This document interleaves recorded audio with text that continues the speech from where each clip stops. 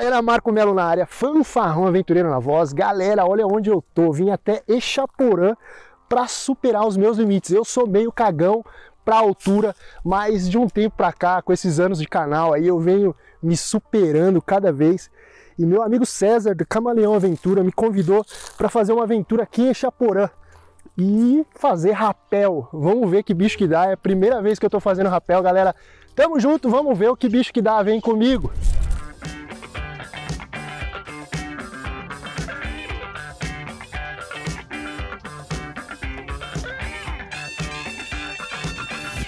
Primeiramente, tá?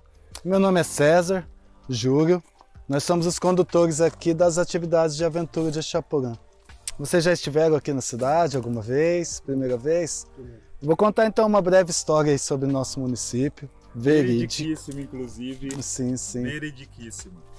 A nossa cidade aqui, há cerca de 120 anos atrás, era habitada pelos índios das etnias caigangues e coroados.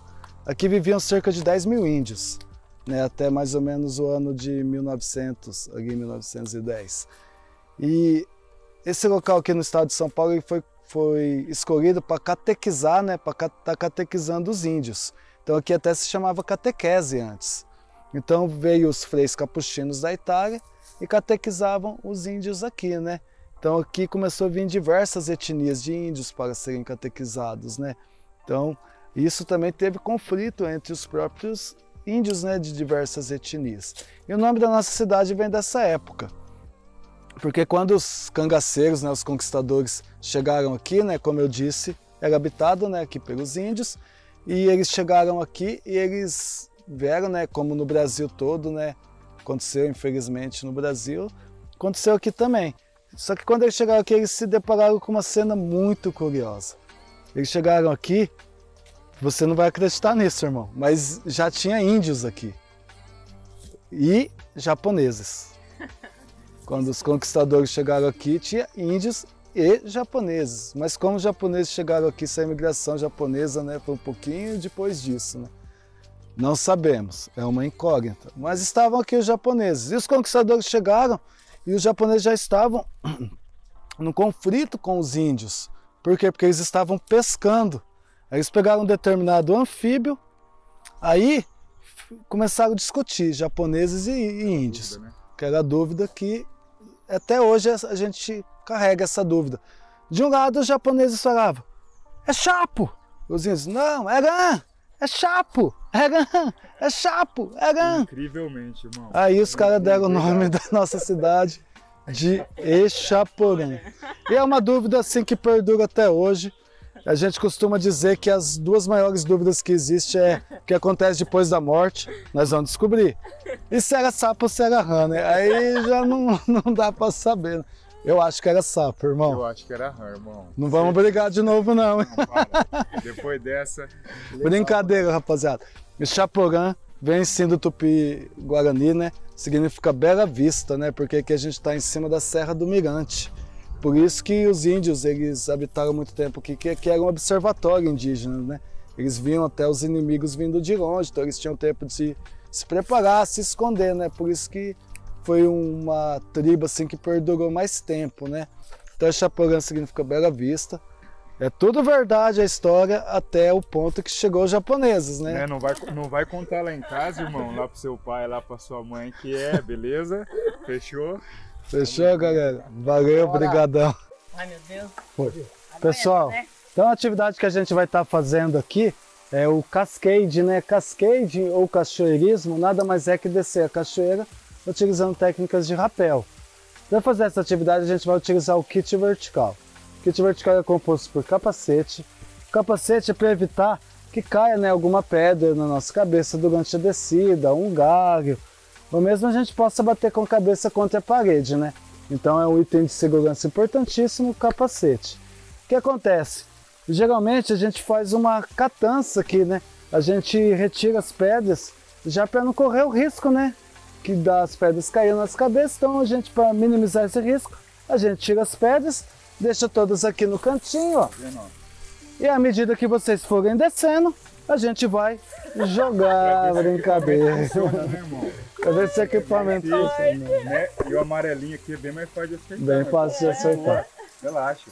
Pessoal, Relaxa. na nossa cintura nós temos essa fita aqui, né? Apertando nossa cintura e nossas coxas, né? Você pode ver aqui. Ela se chama fita cadeirinha ou cinto cadeirinha, né?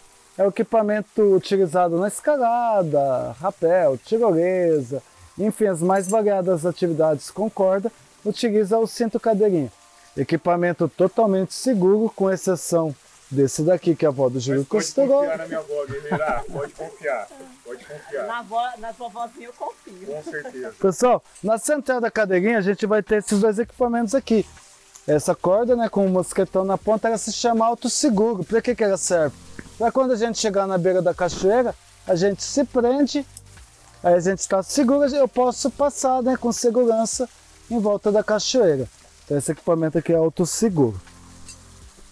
Na central da cadeirinha de vocês, nós teremos esses dois equipamentinhos aqui, ó. Esse aqui é o mosquetão, tá bom? O mosquetão ele tem a função de fazer a conexão entre, com licença, a nossa cadeirinha, né? Nossa central da cadeirinha, com o freio 8, que é esse equipamentinho aqui, ó. Dessa forma. O freio 8 é o equipamento que vai ter contato direto com a corda, tá bom? Esse equipamento aqui, utilizado de forma correta, ele suporta até 2.400 quilos. Não conta o peso da consciência, pode ir tranquilo.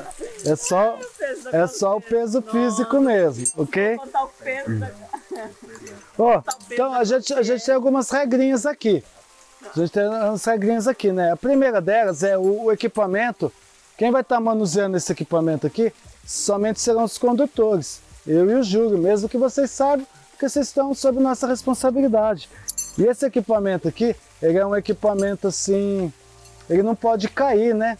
Porque se ele cair, ele não pode ser mais usado. Então, para não correr esse risco, vai estar eu e o Ju manuseando o equipamento aqui para não correr o risco de vocês derrubar, porque esse equipamento não pode cair. Não pode cair. Pelo amor de Deus. Não, mas esse aqui a gente usa em você, tá? Não tem problema. Depois que caiu, destruiu. Galera, é brincadeira. Esse aqui a gente deixa para fazer essa brincadeira mesmo. tá? Beleza, pessoal? É, então eu falei do capacete, né? Cadeirinha e, e os ferros, né? A ferragem. Agora, Agora- é choque, irmão. Agora eu vou ensinar vocês a descerem aqui da cachoeira. Tá aí. Tá aí. Lembrando, galera, que assim, né, é importante falar, eu e o Júlio, nós somos os melhores condutores aí da cidade, com toda humildade e sinceridade, até porque nós somos os únicos aqui da cidade. brincadeira, tem mais, tem mais. Ah, brincadeira. Olha, eu costumo falar assim, né? É que o pessoal tem uma, uma impressão, né? Vou aproveitar a oportunidade, é uma impressão errada. Que o pessoal fala que quem faz rapel é doido, né? E a gente costuma dizer que o doido são vocês que contratam a gente. É bem isso mesmo. Né?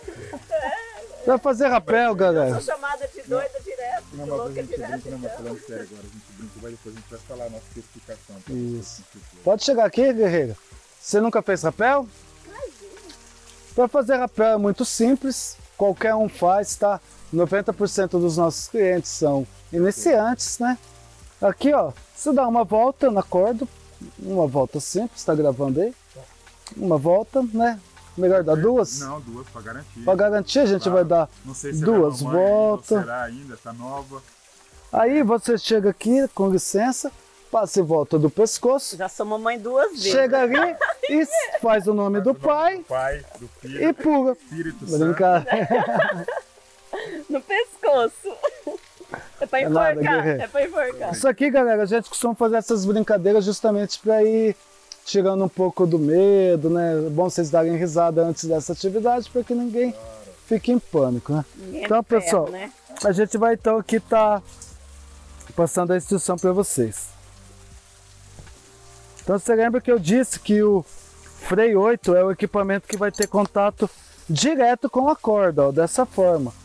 Esse freio 8 ele tem três pontos de atrito com a corda. Cada ponto desse suporta é, em média de 25 a 30% do nosso peso.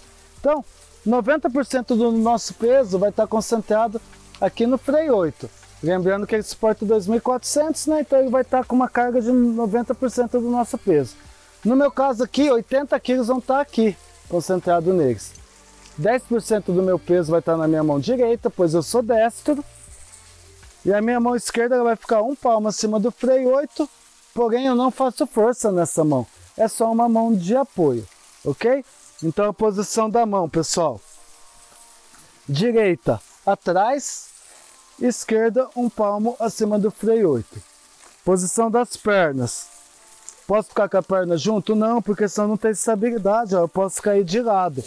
Então eu tenho que ficar com a perna um pouco aberta, mais ou menos na direção dos ombros, ok? E a posição. É, dá uma leve flexionadinha, tá? Não é muito também, tá bom? É só uma leve flexionada. Então aqui, ó, coloquei minha mão aqui direita atrás. Minha mão esquerda, lembre-se, eu não faço força. 90% do meu peso está aqui, 10% está na mão direita. Se eu fizer força com a mão esquerda, eu vou estar suportando 100% né, do meu peso. E pode até vir a machucar a mão. Vocês vão estar descendo de luva. Mas não há necessidade de fazer força com a mão esquerda. Mesmo se eu não tivesse minha mão esquerda, ó, eu desceria o rapel. Então isso é importante para que vocês saibam que não é preciso fazer força. Então, mão direita aqui atrás na altura do cóccix, mão esquerda um palmo acima, pernas abertas. Para eu descer, pessoal, eu vou des deixar é, que desça a primeira parte superior do meu corpo. Então, ó, eu tô com a mão fechadinha aqui, ó, a corda ela não corre, ó. Para que eu desça, eu tenho que tirar minha mão de lado, deixar a corda correr na minha mão, ó, e descer a primeira parte superior do meu corpo. E depois dar um passo. Parte superior e depois dar um passo. É bem simples. Ah,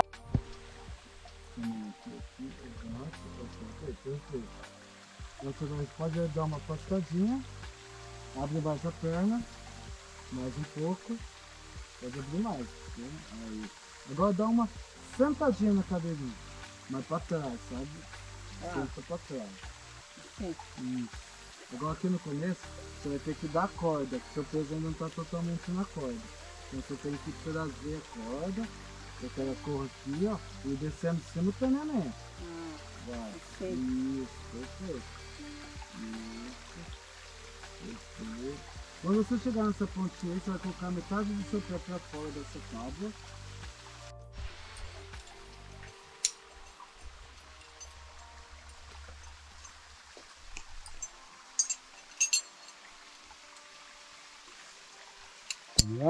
Bora. Isso é destro, né? Sou. Então pegar uma luvinha pra você também.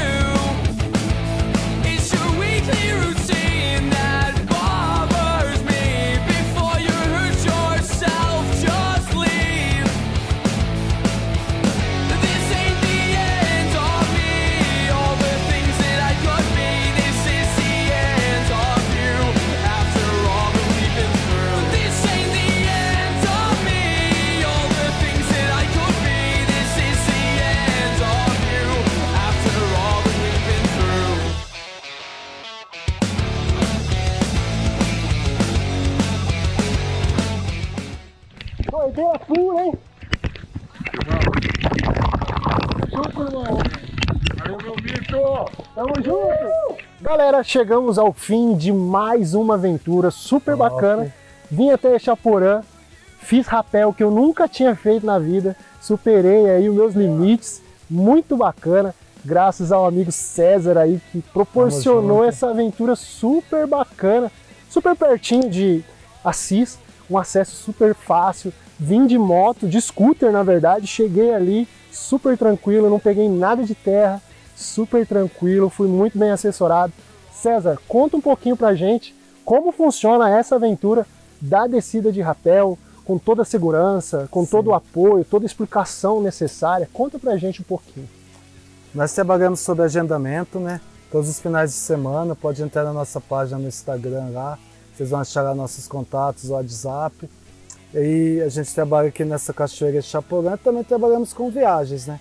Aqui nós fazemos o rapel, cachoeira que tem aproximadamente 28 metros, é ideal para iniciante, né? 90% do nosso público são iniciantes, pessoas que estão iniciando no esporte, procura a gente.